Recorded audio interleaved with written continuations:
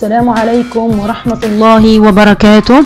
بنرحب فيكم حبايبي طلاب الصف السادس الابتدائي في قناتنا English Online درسنا اليوم إن شاء الله هو الدرس السابع من الوحدة الأولى page 10 الصفحة العاشرة. Activity 1 Read the clues and complete the crosswords اللي هو اقرأ. اقرأ من المفاتيح اللي هي هي الكلوز معناها اللي هو مفا... اللي هو تلميحات إشارات معناه المفاتيح لحل اللغز and complete وأكمل اللي هو الكلمات المتقاطعة. زي ما أنتم شايفين عندنا هنا في اللي هو الكلمات المتقاطعة عندي اللي هو شكل الكلمات المتقاطعة اللي إحنا مرات بنشوفهم بالجريدة. آه عندي هنا اللي هو آه across وعندي down عندي اللي هو across يعني بدي أعبي عندي مجموعة من الكلمات وعندي اللي هو across معناها اللي هو أفقي. عندي مثلا number 1 اللي هو way to go up high. Number 4 sad not to see someone. Number 6 not stand up. Number 7 need to sleep. Number 8 to come again. Number 9 something bad that wasn't planned. عندي هنا اللي هم هدول الجمل الموجودين عندي هنا مكتوب عليهم فوق اللي هو إشارة across مكتوب عليهم اللي هو across يعني بدي هدول الجمل بدي أعبيهم بشكل أفقي. مثلا عندي number 1 بدي أعبيها بشكل أفقي. هكذا. number 4 بدي أدور على number 4 وأعبيها بشكل أفقي. number 6 بدي أعبيها بشكل أفقي وهكذا. عندي هنا down في عندي مجموعة من الجمل هي بي number 1 be the same number 2 very very bad. number 3 a holiday in the summer time number 5 use the phone number 8 a loud noise number 10 fall very fast عندي هدول الجمل بدي أعبيهم في الجدول اللي موجود عندي هنا أعبيهم اللي هي في جدول الكلمات المتقاطعة بدي أعبيهم بشكل عمودي. هي إشارة العمودي هي عندي هنا number 1 عندي هنا number 1 بدي أعبيها هكذا بشكل عمودي. عندي number 2 هي number 2 بدي أعبيها بشكل عمودي. number 3 هي number 3 بدي أعبيها بشكل عمودي وهكذا.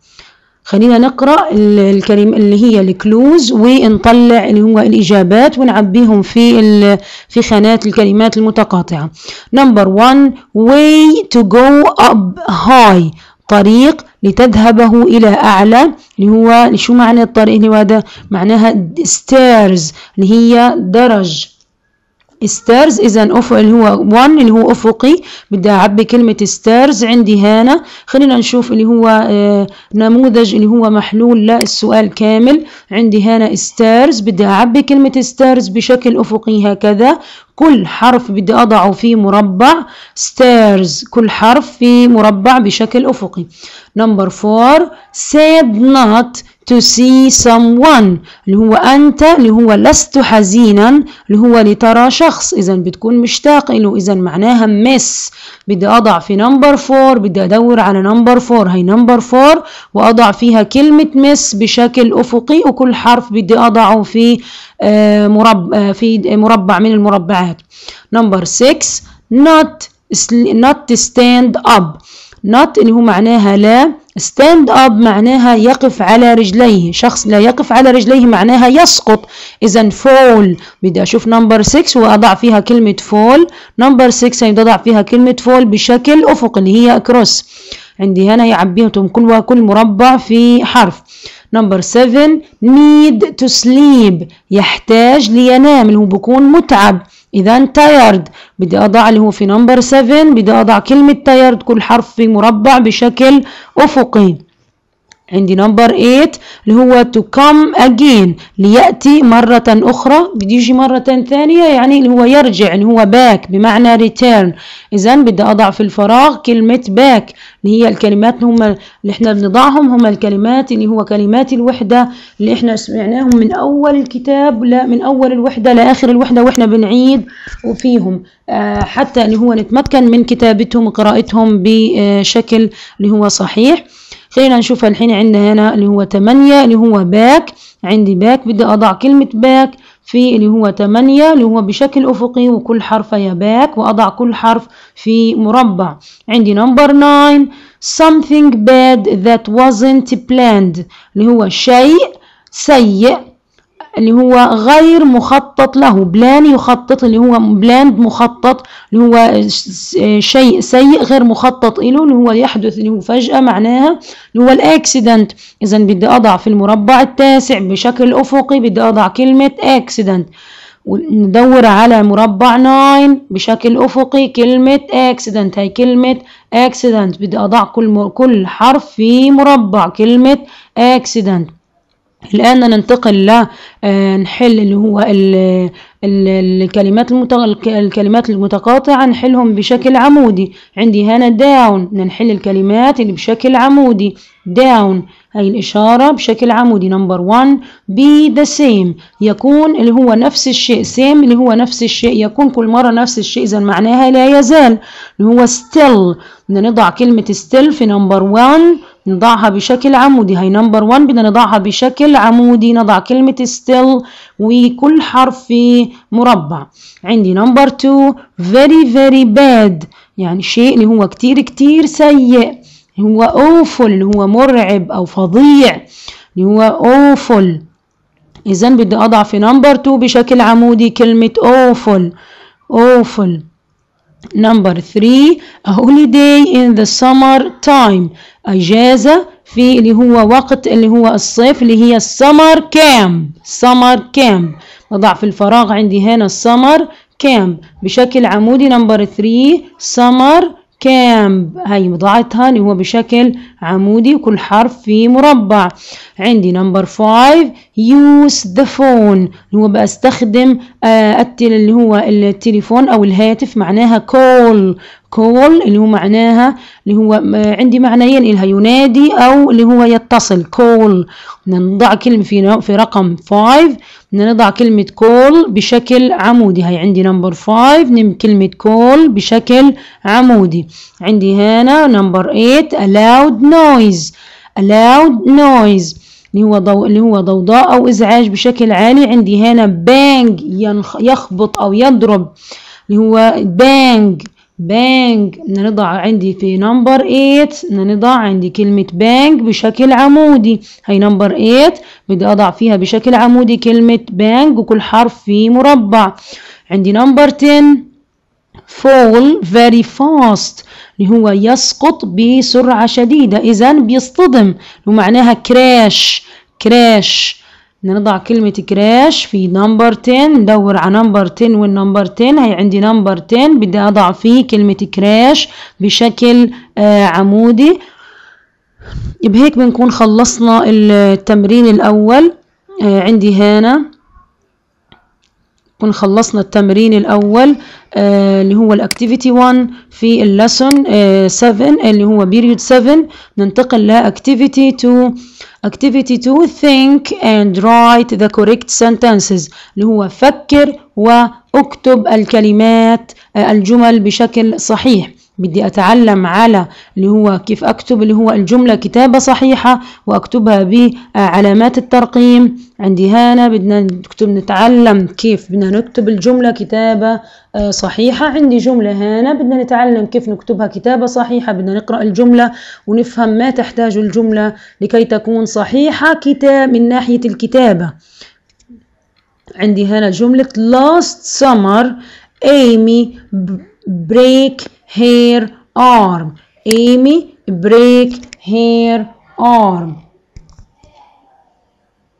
عندي Amy break her arm. بس بدنا نعدل الجملة عشان عندي فيها خطأ. عدلنا الجملة هيك.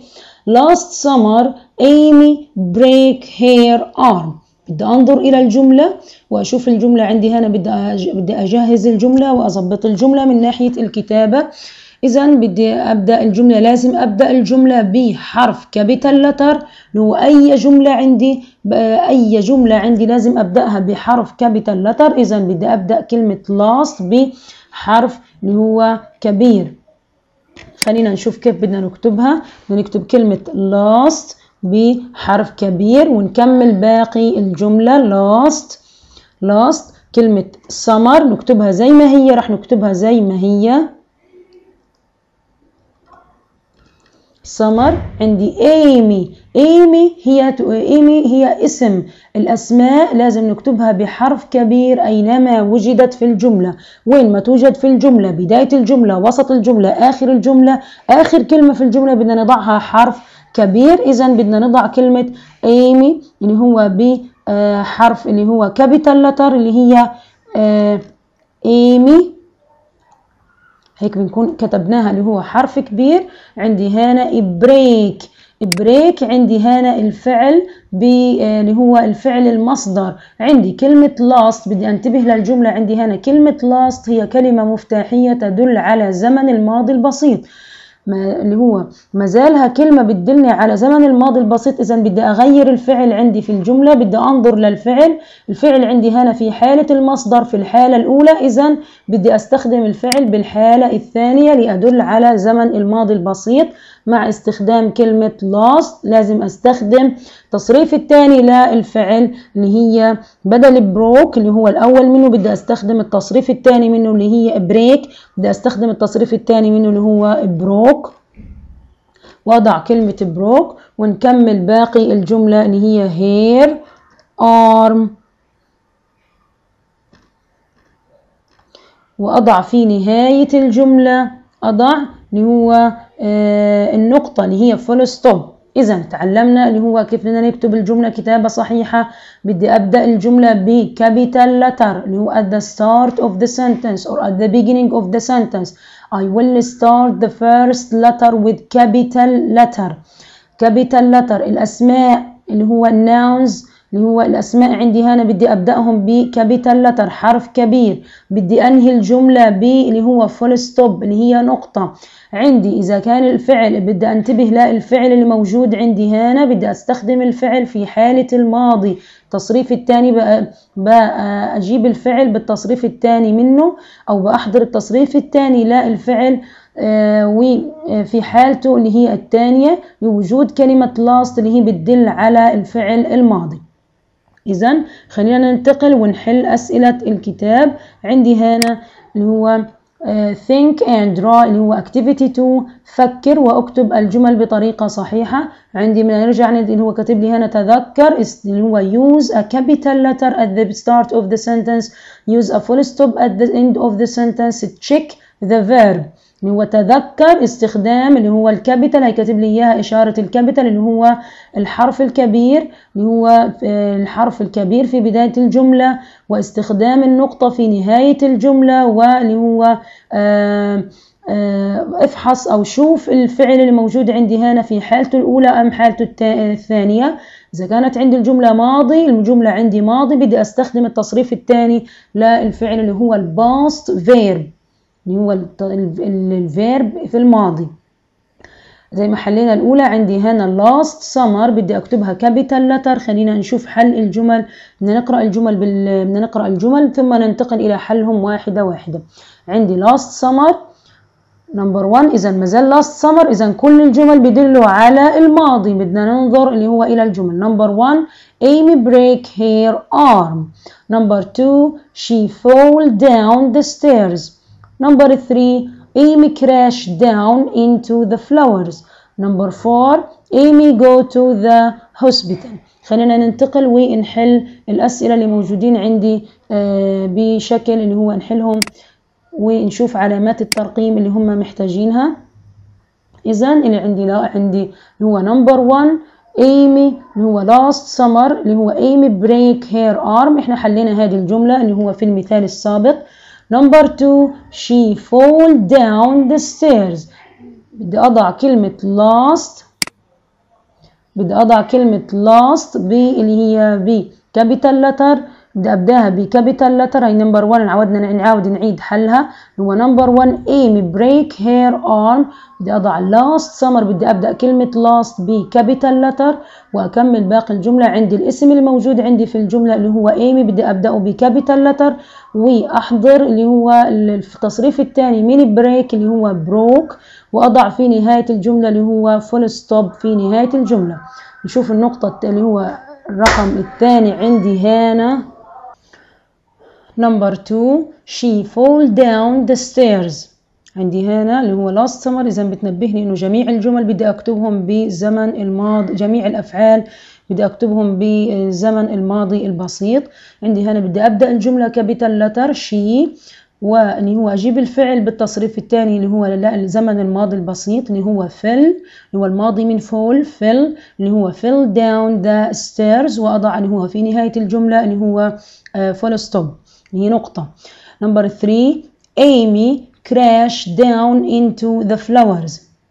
عندي ايمي اسم أيضا هي اسم وفي بداية الجملة. بدي أضعها capital letter crash الماضي منها بدي أجيب الماضي من crash لأنه الجملة عندي في الماضي. الماضي منها crashed down into the flowers. وفي نهاية الجملة أضع اللي هي full stop اللي هي نقطة.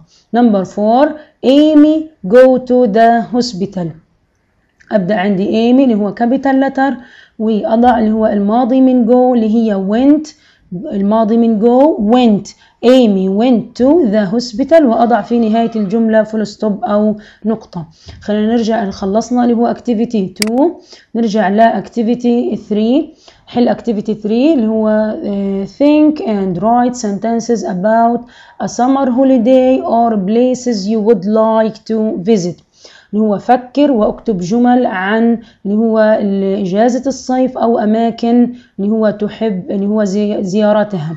اللي هو visit يزور. عندي هنا would like يحب. عندي place مكان. places أماكن. خلينا نشوف كيف بدنا نحل هذا السؤال. عندي هان. في عندي مجموعة من الجمل اللي هو نطلع طلعناهم من اللي هو من الدرس أو من اليونت عندي هنا في عندي اللي هو مجموعة من الجمل بدي أتعلمهم اللي هو last summer I went to اللي هو الصيف الماضي اللي هو ذهبت إلى يعني نكتب اللي هو مجموعة اللي هو جمل بسيطة ونعملهم زي اللي هو حديث عن اللي هو الأماكن اللي أنا بحب أزورها أو مكان أنا زرته في الإجازة I was there for فراغ days. اللي هو زرت اللي هو هذه اللي هو هذا المكان. There تعود على المكان لمدة عشرة اللي هو أي لمدة كم يوم؟ اللي هو عندي هنا أيام. I went with my فراغ. I went اللي هو ذهبت إلى كذا. إذا في عندي مجموعة من الأسئلة عشان أنا أطلع اللي هو أو أكتب معلومات عن مكان بحب أزوره أو اللي هو إجازة الصيف أو مكان أنا ذهبت إله اللي هو when did you go متى أنت ذهبت؟ على سبيل المثال last summer اللي هو last summer I went عندي هنا where did you go? أين ذهبت? مثلا على سبيل المثال ذهبت إلى هو جيروزاليم اللي هي مدينة القدس اللي هي عاصمة دولتنا مدينة القدس. عندي هنا how many days were you there? اللي هو كم يوم دكت اللي هو قضيت هناك. بدي أذكر الأيام اللي أنا ذكرتهم هناك. I was there. I was there. وبذكر الأيام اللي, اللي جلست فيهم. Who did you go with مع من أنت ذهبت اللي هو I go with اللي هو I went with my dad my mom my mother my grandmother and so on what did you do ماذا فعلت ماذا اللي هو الأماكن اللي زرتها عندي مثال عندي هنا مثال عليها. عندي أنا ذهبت صورة جلس اللي هو ذهبت إلى مدينة القدس. على سبيل المثال last summer I went to Jerusalem. الصيف الماضي ذهبت إلى مدينة القدس. uh, I was there for 10 days اللي هو قضيت هناك اللي هو عشرة أيام. عندي اللي هو I went with my اللي هو ذهبت مع والدي مع والدتي مع ال grandmother عندي هنا.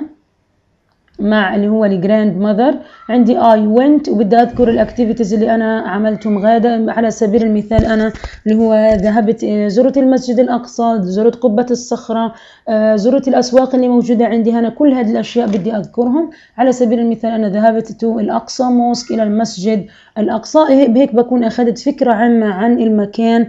عن اللي هو مكان بحب أزوره أو بأتمنى إني أزوره أو إجازة اللي هو أو مكان أنا ذهبت إله لأنه عندي هنا last summer اللي هو الصيف الماضي مكان أنا ذهبت إله ورحت له. خلينا نشوف activity 3 activity 3 عندي هان التمرين الرابع في نهاية الدرس السابع عندي write the words practice your handwriting عندي هنا مجموعة الكلمات اللي هي كلمات الوحدة اللي هو the words of the unit أو the vocabulary of the unit. عندي بدي أكتب اللي هو هذه الكلمات بدي أنقل هذه practice your handwriting بدي أتدرب على كتابة هذه الكلمات.